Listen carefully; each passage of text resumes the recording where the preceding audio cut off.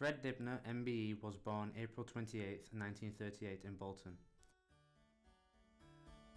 He lived his life first as a talented master steeplejack, then moved on to being a famous television personality, following documentaries made on his work with chimneys and his passion for steam.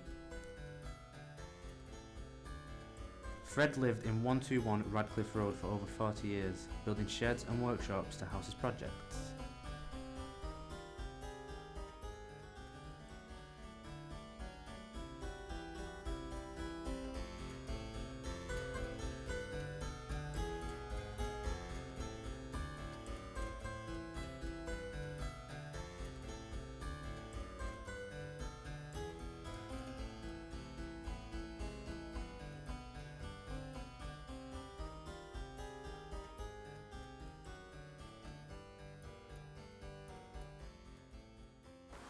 Name's Leon Powlesney. I do everything. I do the admin, the paperwork, uh, do general maintenance. Um, I'm not a skilled engineer, so you know if I need to do something in that way, if I can't do it myself, I'll, I'll get some help. Um, but general dog's body, you could say, really. I just happened to see this place hadn't been sold. I came along and had a look at it, um, and thought, oh, that's interesting. I could do, you know, do something with this. I wasn't sure what. Um, I saw it as somewhere to live initially. And of course, when, we, when, when, I got to see all this, um, that's when we decided to turn into a museum. Um, but uh, when my wife first came to see the place, um, after I bought it, after we'd bought it, she hadn't even seen it. She signed up ha not having seen it. And uh, she came along, and the first word she uttered was, uh, this is going to take some doing. and it did. I've tried to keep it as original as possible, as if Fred was still here. And, and when we do a guided tour, um, some of your older viewers, you, you won't remember this, but some of your older viewers might remember Bill and Ben, the flower pot men.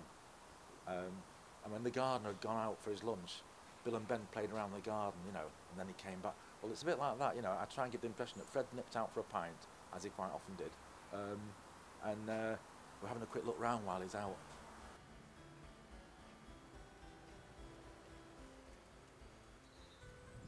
Time it was on its side, with the struts in the air and the wheel there. So he erected it, but he couldn't dig the mine shaft because he was on his own.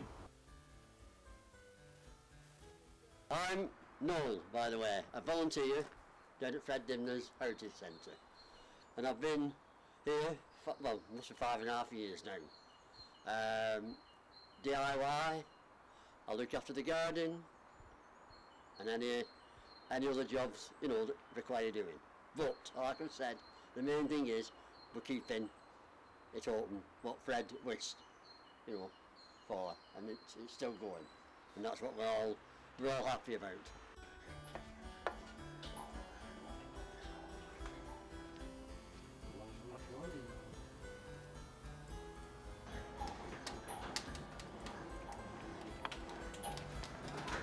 The atmosphere here is, is wonderful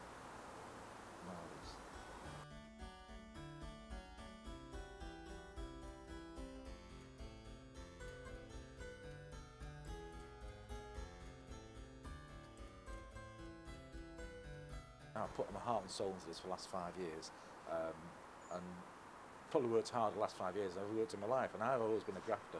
I'm trying to um, uh, uh, organise a campaign so we can put the place into a trust, which we already have set up, so it's protected for the future then. This Heritage Centre means you.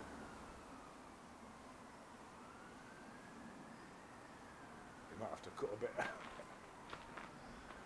I get a bit emotional. Um, no, it's oh no no no it's okay.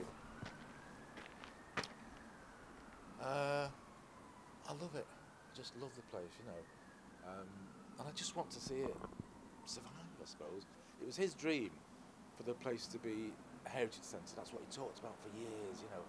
But that's why he dug the mine shaft, basically, because he wanted it to be part of the heritage centre. So when people came along, they saw some movement here. Um, so if nothing else, we've made Fred's dream come true in turning it into a heritage centre. And um, yeah, I, I just love the place.